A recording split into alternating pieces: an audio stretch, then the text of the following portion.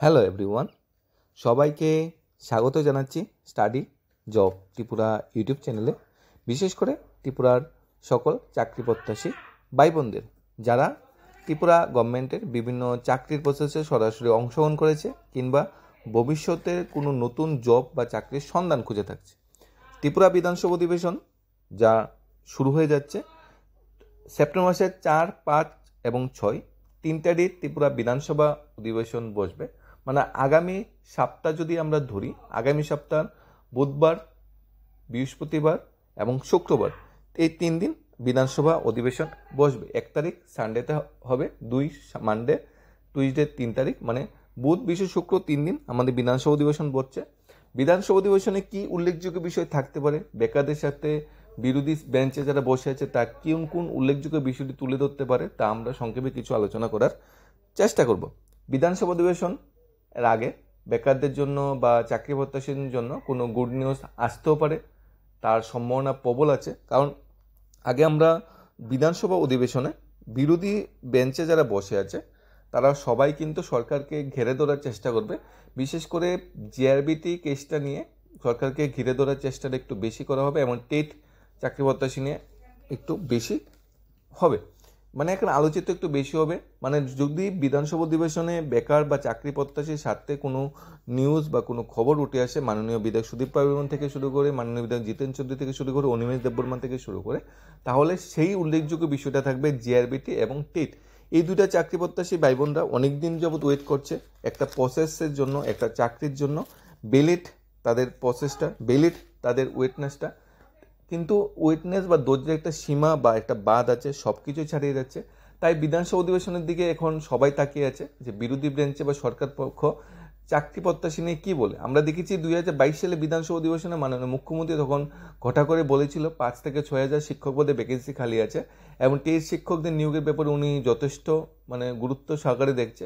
কিন্তু বর্তমান সময় এখনও টেস্ট শিক্ষকদের নিয়োগের কোনো মানে গ্রিন সিগন্যাল পাওয়া যাচ্ছে না। এসটিজিটি বিষয়টা এখনও সুপ্রিম কোর্টে ঝুলিয়ে রেখেছে। মানে ত্রিপুরা শিক্ষা ব্যবস্থার বেহাল অবস্থা বর্তমানে।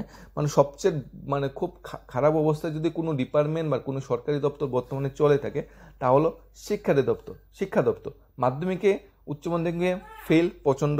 কলেজের পড়াশোনা লাটে হচ্ছে ঠিকঠাক পরীক্ষা, ঠিকঠাক রেজাল্ট দিচ্ছে না। তোমাদের প্রফেসর অ্যাসিস্ট্যান্ট প্রফেসর অভাব গেস্ট লেকচারের দিয়ে কলেজগুলো চলছে। এক, একজন, তিনজন, একজন থেকে তিনজন টিচার দিয়ে চলছে প্রচুর স্কুল প্রচুর স্কুল বন্ধ করে দেওয়া হচ্ছে শিক্ষক স্বল্পতার অভাবে। কারণ শিক্ষক নিয়োগ করতে গরিমসি যেটা বলা হয়। টেট টেট যারা দেওয়ার ইচ্ছা বা টেট চাকরি যারা করবে শিক্ষক, তারাও ওয়েট করে বসে যে ডিএলএড বিএড করে কবে টেট পরীক্ষা হবে।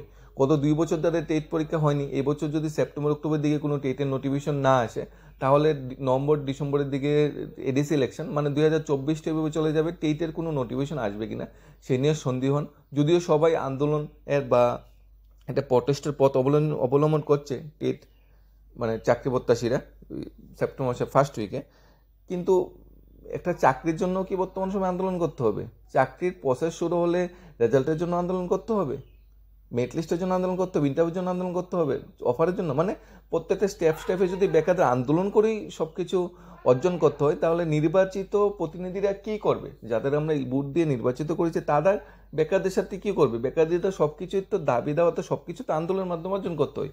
জিআরবিটি বলি ফায়ার সার্ভিস বলি মানে স্পেশাল এক্সিকিউটিভ বলি, তাছাড়া ত্রিপুরা পুলিশ কনস্টেবল বলি, সবই তো আন্দোলনের ফল। কোন কোন চাকরি প্রত্যাশীরা বর্তমান ত্রিপুরায় সুখে আছে? কোন চাকরি প্রত্যাশীরা বর্তমান ত্রিপুরাতে একদম মানে ফ্রিতে আছে ফ্রি মাইন্ডে আছে, কোনো ডিপ্রেশনে নেই? যে গভর্নমেন্ট আমাদের চিন্তা করেছে গভর্নমেন্ট আমাদের চাকরি দেবে।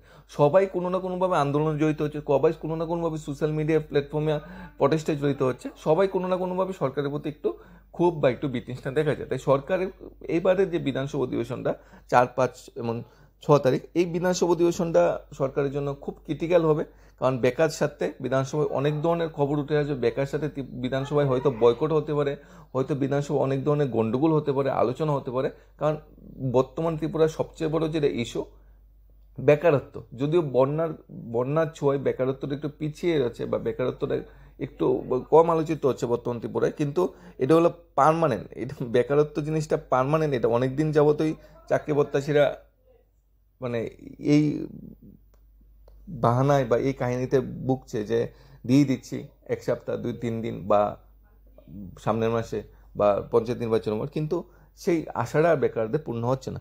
তাহলে যেহেতু বুধ বিশুদ্ধ শুক্র ত্রিপুরা বিধানসভা অধিবেশন শুরু হচ্ছে, তাহলে ত্রিপুরা বর্তমানে যে চাকরি প্রসেসগুলো চলছে, তার এক, দুইটার রেজাল্ট আমাদের এই উইক বা সামনের উইকের মঙ্গলবারের ভিত্তিতে দেওয়ার সম্ভাবনা আছে। কারণ গভর্নমেন্ট কোনো সময় চাবে না যে এই ইস্যুগুলা নিয়ে বিধানসভায় তুলুম তুলুম কালাম হোক, বিধানসভায় তারা মানে ব্যাকফোর্ডে চলে যাক। তাই গভর্নমেন্ট চেষ্টা করবে আমাদের যে ওয়ার্কিং ডেগুলো আছে, বর্তমান সময়ে ওয়ার্কিং ডে এই সপ্তাহে তিন দিন এবং সামনের সপ্তাহের যে দুই দিন ওয়ার্কিং ডে, বিধানসভা অধিবেশন শুরুর করার আগে, সেই ওয়ার্কিং ডেগুলোতে কোনো নতুন বা কিছুটা দেওয়ার চিন্তা ভাবনা বেকারদের জন্য থাকবে গভর্নমেন্টের তার মধ্যে সবচেয়ে উল্লেখযোগ্য বিষয় হলো ত্রিপুরা ত্রিপুরার যে জেআরবিটি চাকরি সেটা তার রেজাল্টটা।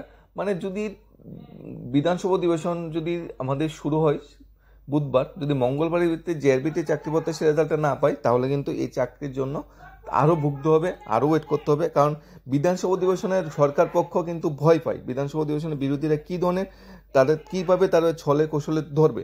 তো সরকার যদি বিধানসভা এই সেই ভয়টা কাটিয়ে যদি রেজাল্টে বর্তমান সময় না দেয়, তাহলে বিধানসভা অধিবেশন পরে তো তাদের কাছে কোনো ভয়ই থাকবে না।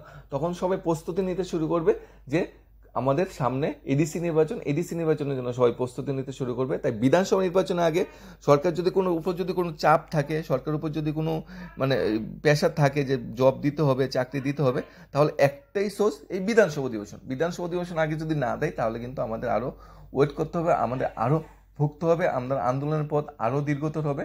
তবে বর্তমানে সব কিছু যে বাতাবরণটা চলছে সব কিছু পজিটিভই চলছে। সেই পজিটিভ বাতাবরণের উপর ভিত্তি করে আমরা আশা করছি গভর্নমেন্ট বিধানসভা অধিবেশন আগে হয়তো এক দুইটা ভালো সিদ্ধান্ত নিতে পারে। সরকার মানে সেই আশাতেই আমরা আছি। তাছাড়া বিধানসভা অধিবেশনেও আমরা দেখেছি গত বছর দিয়ে দিয়ে যে ব্যাপারটা ডিএটা ডিক্লেয়ার হয় কোথায়? ডিএটা ডিক্লেয়ার হয় মাননীয় অর্থমন্ত্রী দিয়ে ডিক্লেয়ার করে বা মুখ্যমন্ত্রী বা সাংবাদিক সঙ্গ করে দিয়ে ডিক্লেয়ার করেন কিন্তু গত বছর গত মানে অ্যাসেম্বলিতে আমরা দেখেছি গভর্নমেন্ট চাপে পড়ে বিধানসভা অধিবেশনে মাননীয় মুখ্যমন্ত্রী সেই ডিএর গুড নিউজটা দিয়েছে। তাই বিধানসভা অধিবেশন বসেও মুখ্যমন্ত্রী বা অন্যান্য মন্ত্রী জেআরবিটি নিউজ বা স্পেশাল এক্সিকিউটিভ বা অন্যান্য চাকরি প্রসেসে কোনো একটা নিউজ দিতে পারে, কোনো একটা পজিটিভ নিউজ দিতে পারে, সেই আশা তো আমরা আছি। তাই খুব ইম্পর্টেন্ট এইবারে বিধানসভা অধিবেশন, চার পাঁচ এবং ছয় তারিখ। এটা মানে অনেকটা গুরুত্বপূর্ণ এই অধিবেশন। আর অধিবেশনে বর্তমানে সময়ও বা টাইমও বাড়ানো হয়েছে। যাতে ম্যাক্সিমাম সময় সরকার এবং বিরোধী পক্ষরা পায় জনগণের বিভিন্ন অভিযোগ, বিভিন্ন অভাব, অনটন নিয়ে আলোচনা করার সময়। তাছাড়া কোনো পৃথিবীতে বন্যা পরিস্থিতি চলছে। বন্যা পরিস্থিতি নিয়েও বড় ধরনের আবেদন বা বড় ধরনের একটা প্রটেস্ট হয়তো আমরা বিধানসভায় দেখতে পারব। কারণ ত্রিপুরার মাননীয় এমপি যাকে পূর্ব ত্রিপুরা এমপি ওনাকে দেখা যাচ্ছে না বন্যা পরিস্থিতিতে ত্রিপুরার জন্য বা ত্রিপুরার জনসাধারণের জন্য কিছু করার সেটা বিষয়ে আলোচনা হবে, বেকারত্ব বিষয়ে আলোচনা হবে, বন্যার তান বা বন্যার সামগ্রী সবাই ঠিকঠাক পাচ্ছে কি না সে বিষয়ে আলোচনা হবে। তাহলে এবার বিধানসভার অধিবেশনটা খুব ইন্টারেস্টিং হবে।